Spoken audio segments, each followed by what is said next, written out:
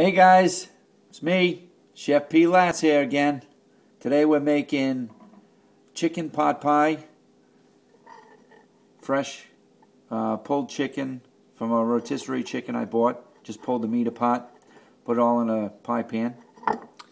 And I made this homemade uh, velouté sauce.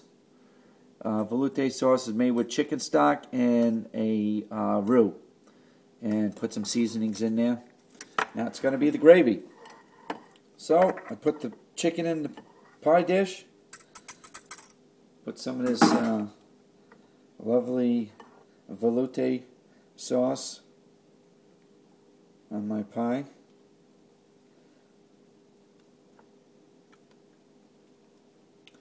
No vegetables. It's going to be all chicken.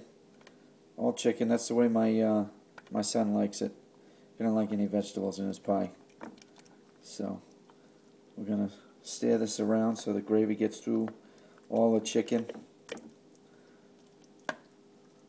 That in there. A little more gravy on top here.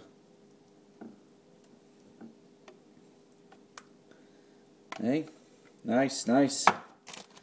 Nice, nice. I gotta bend down so you can see me. And I got this uh, store-bought uh, pie crust. Just gonna put it right on top.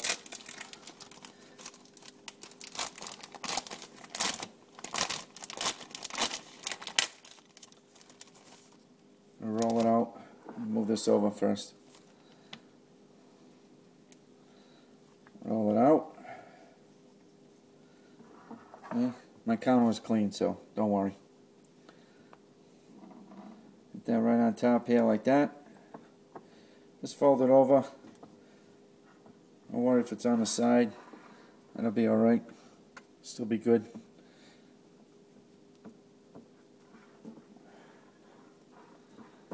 And then make a few uh, air holes on top here so it can breathe and bubble out over the top. Beautiful thing.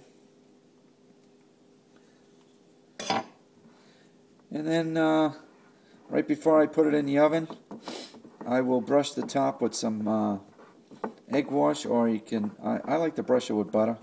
Gives it a nice flavor. And uh, a little bit of salt coarse sea salt on top and you're good to go. Until next time Chef P. Lats have a good day